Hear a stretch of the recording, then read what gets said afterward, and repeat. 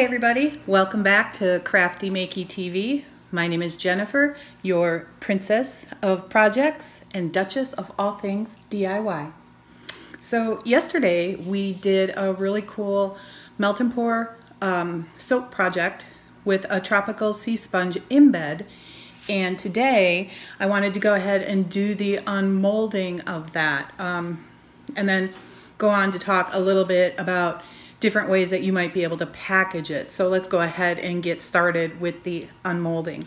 So sometimes when you do melt and pour, you'll kind of get this vacuum seal that happens. Um, so basically what you want to do is just kind of pull the edges a little bit of the soap mold. And then for, especially for these massage bar molds, you're going to want to actually turn that mold inside out right? Kind of grab onto it here and turn it inside out and kind of push on those massage nubs so that they come and pop right out. Because if you pull too much from the top, you're going to end up breaking those nubs off and we don't want to do that because we took such time in making sure that we had the mold filled properly so that we would get those nice nubs. So this is the bar that we made with the Lush Succulent um, uh, Fragrance Oil from Brambleberry, along with the little bit of um, em, uh, was it Evergreen, Evergreen colorant block that we also added, which was also from Brambleberry, to get this nice soft green color and you can see we've got that nice uh, sea sponge embed in there. So these turned out really nice. They smell absolutely lovely. They're going to make great Christmas gifts that I will be packaging up today and sending out priority mail tomorrow because Christmas is coming. So let's go ahead and push the rest of these out so that we can get them unmolded carefully. And the, these molds are really nice. They're very durable. And um, so they turn inside out really nice. You don't have to worry about ripping them. Um, I'll put a link, uh, an Amazon link down below in the description field. So if you want to go ahead and purchase these, you can. It will be an affiliate link. I'll make a teeny tiny commission off of that if you do choose to buy them. And if you do, I'm truly grateful and forever in your debt. And if you don't, you'd like to get them from somewhere else, that's perfectly okay. UBU. See that? That's a nice one. I like that. My glasses are coming off here. Hang on. Um, so let's pop this last guy out of here real quick.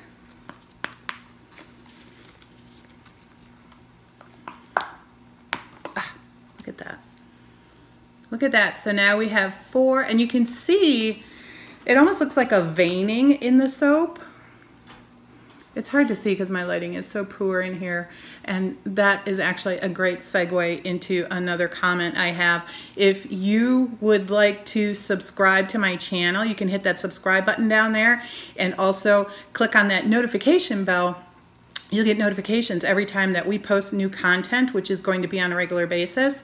My husband said that if I get enough subscribers to actually be relevant, that he will get us a decent camera so that we can not have to deal with these weird lighting issues that I have all over my house.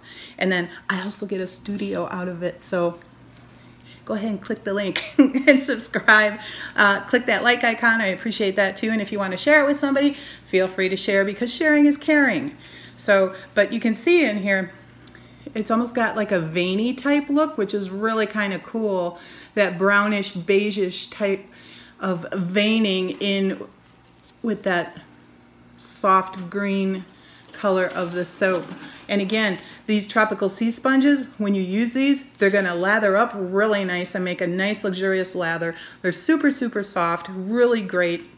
And you don't have to use that um, SOS uh, plastic thing you got hanging in your shower right now if you decide to go ahead and make these sponges. And I guarantee, I guarantee anybody that you gift these to will just absolutely adore them and they're going to want more. So there's that.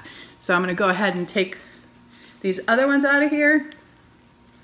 These are the ones that we scented with our cashmere fragrance oil. And they also smell absolutely lovely. And put that out of there. Yeah, look at that. That's absolutely gorgeous. My hands are shaking a little bit. I had a little bit too much coffee this morning. You can see that. Absolutely gorgeous. And see that nice veining there. We do have a couple of air pockets right here, but that's just where the soap kind of or got sucked up into the sponge a little bit, which is perfectly fine. Absolutely fine. Look at that. That's absolutely beautiful. Awesome. I am so happy with these and I know my sister is going to love them. My daughters are going to love them. And my mother is going to love them as well. See? Nice massage bar on there. So as we finish up unmolding these, one thing I said that we also wanted to talk about was packaging, right? Because um, packaging is really important, especially with soap. Now, melt and pour soap is kind of cool because you don't have to cure it like you do with other types of soap, like cold process soap or hot process soap. You have to, it has an actual cure time. Um, a curing stage that it has to go through before it can actually be used um, and packaged. So with melt and pour soap, you can, as soon as you pop it out of the mold, it's ready to use. You don't have to worry about curing it or anything like that, which is really kind of cool. Also makes it super um, easy, you know, if you just want to make a quick batch of soap. So, because like I said, you pop it out you can use it right away. Um, the one thing though with melt and pour, and especially soaps that have glycerin, now this is a goat's milk based soap, but some of the other soaps that have more glycerin in them, um, and glycerin is a byproduct of the saponification process, but um, it can sweat. So melt and pour soaps can sweat if they're just kind of left sitting out. So it's always best to kind of seal them um, as soon as possible after you've unmolded them or slice them if you made a loaf or, or what have you. So um, how I package my soaps, I actually have an impulse sealer.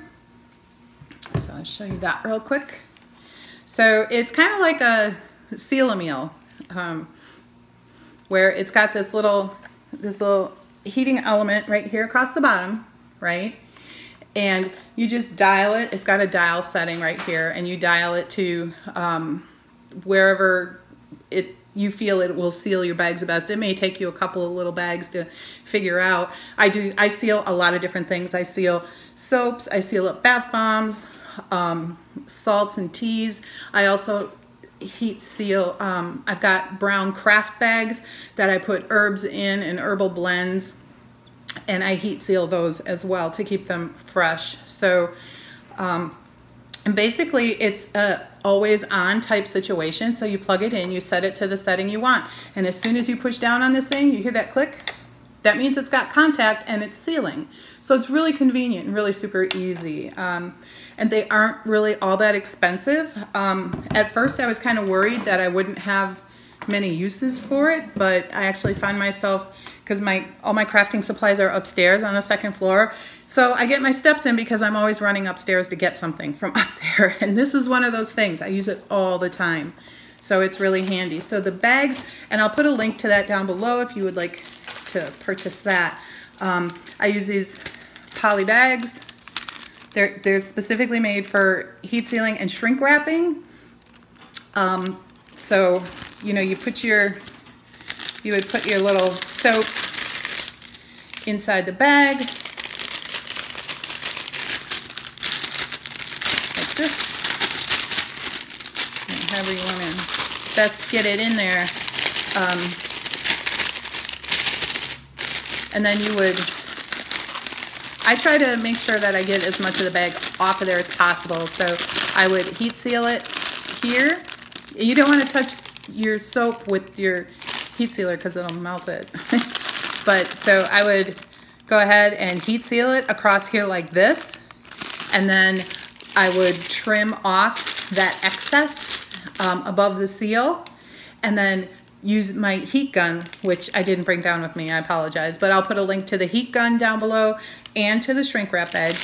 Um, but you just heat seal that, hit it with your heat gun lightly, and it will heat seal it for you and it'll shrink wrap it for you. So you can see here's one that I already have done. Um, and you can see now you will get like these seams. Um, if, if you have a lot of extra bag you'll get these seams. What I do with those is once I heat I shrink wrap it and I've you know, it's warm, I actually kind of rub that on my counter to kind of press that down, press that little seam down um, so it's not, you know, sticking way out and getting pokey or anything like that. So, um, but yeah, you can see, again, heat sealed. Um, here's actually a massage bar that's all nice and all nice and sealed up. Um, a lot of times with the heat gun, you may actually get, I don't know if you can see this here, but like right here, we've got a little hole right there. Um, you know, if you hit it, if you get too close with the heat gun or you heat it a little too long, you may blow through and get a hole in there. If it's not that bad, I go ahead and leave it because it's not going to cause any damage and it's, you can actually smell the soap through it, so it's actually kind of nice. Um, so I just leave those or I label over it. Um, so that's how I package. Another thing that you could do is you could wrap them in parchment paper. You could cut squares of parchment paper and wrap it and tie it with some like some jute cord or some ribbon or something like that. You could package them, you could put them in organza bags. That won't be as, won't provide as much of a barrier as say shrink wrapping or even parchment paper would, but it would be a nice way that you could package it if you were going to give it as a gift to somebody. Um, another thing that you could do would be to use like brown, uh, the brown coffee filters and the unbleached brown coffee filters and you could wrap in a couple of those and tie it up with some ribbon or some jute cord and that would look really nice as well. Or wrap it with the jute cord you know a few times so it looks like there's a little binding on there. That would look really cute as well. I've done that and it looks nice. Um, I wanted to talk a little bit about if you package and you want to stick a label on there. So as you can see I put like little cigar band type things on here and then I put a label a printed label on there. Um, this too, I put a cigar band type thing around it. That's what I call it. And then I slap a label on the front. Um, I have a laser printer. I have a brother laser printer. I don't even know if they sell that on Amazon. I'll look it up, and if they do, I'll throw a link in, the, in the description box. Um, but I actually got mine at, I'm to say, um, Office Depot, I think. Um, so anyway, um, you can go to sites like vectorstock.com and get like free vectors and that's what I use on here like for this. So I go to the avery.com website and I use temp one of their templates for this particular label. This is label 22845 22845. And what it is, it's a label for, uh, it's a wraparound label for water bottles. You can use it for water bottles. Um, my son-in-law is a massage therapist and he has done a few events um, out and about in the community and we like to print labels for him using these wraparound labels and put them on water bottles because he can hand them out and it's advertising as well so but the template I have found uh, works out great as far as creating these little cigar band type uh, wrappers.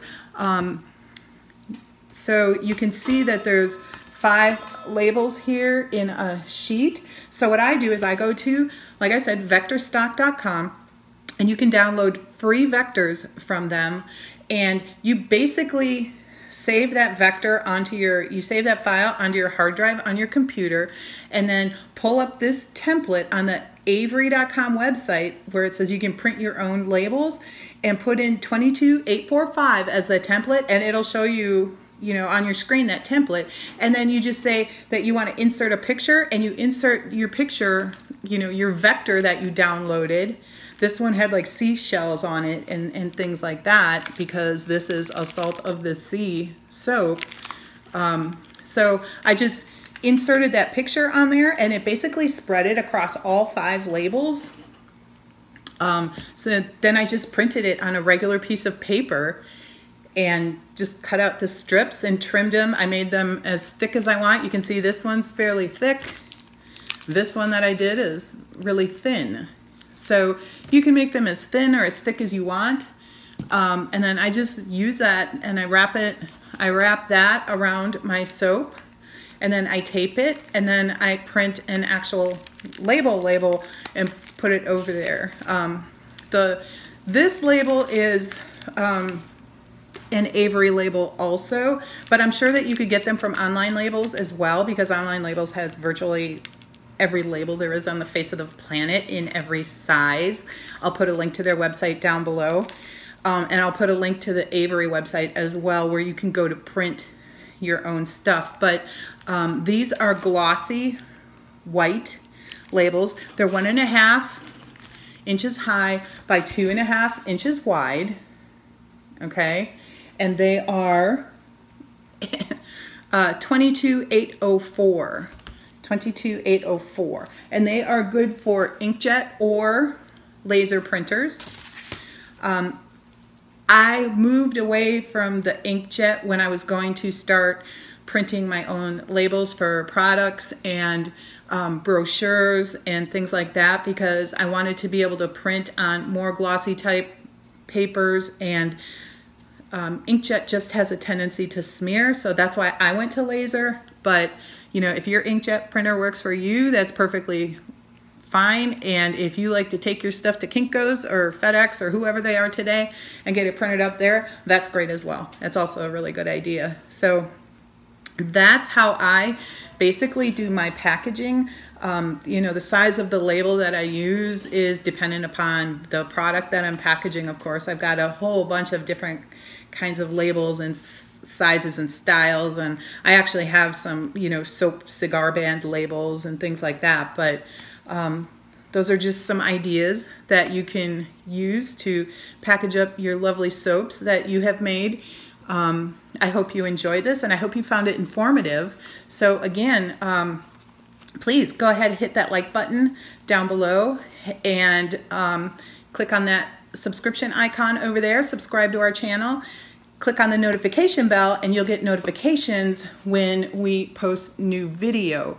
I did just recently create a Facebook group for all those crafty makey people out there that would like to you know kind of have a community that they can turn to for their crafty ideas um, and you know just kind of a support network for each other bounce ideas off of each other maybe ask each other questions like hey why didn't this work out? Have you done this before? Um, and you know really kind of like I said support each other because um, that's what it's all about. So um, if you would like to be a part of that I can send you the information. I'll put my email in the description down below. Just pop me an email and I'll send you an invite for the group. Um, anything that I make, um, you know, the videos will be posted to the group. Um, products will be posted to the group if you're interested in purchasing. So, you know, there's a lot of cool things that we can do um, and we can do together. So I really appreciate you watching and I hope you all have a crafty day.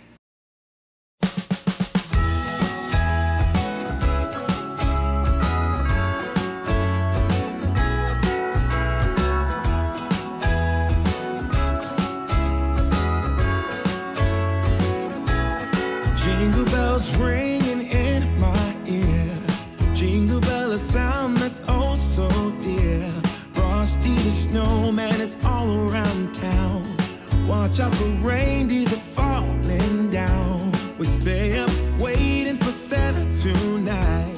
He climbs down the chimney at the speed of light while we're dancing around the Christmas tree, hugging and kissing.